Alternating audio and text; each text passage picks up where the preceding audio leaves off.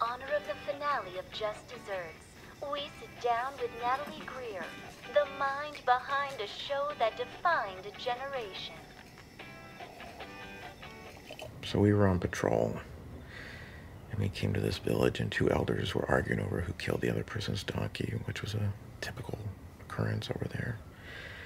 And then uh, a shot rang out. And do you know who was shot?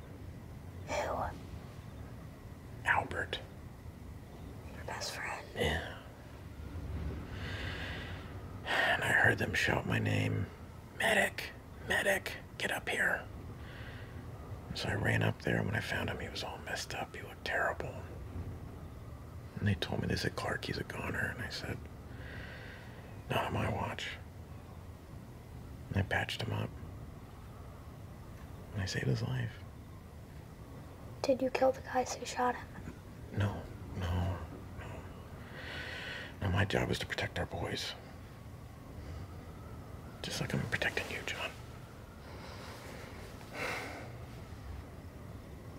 I love you so much, Dad. Oh, I love you too. I love you too, buddy. But it's just so crazy to have gone from like being a chubby little kid who loves cupcakes to then all of a sudden, you know, the president of the United States is quoting our show at the State of the Union. Like, how did how did we get this lucky? You know, like we're so lucky. Do you know that we almost fired you season two? really? yes, because you weren't good yet. You know, you were you were a kid, so you were bad. But Who's Barry? What?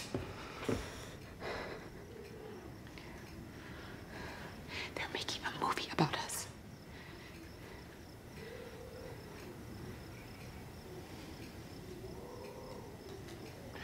I'm gonna have to kill Goose now.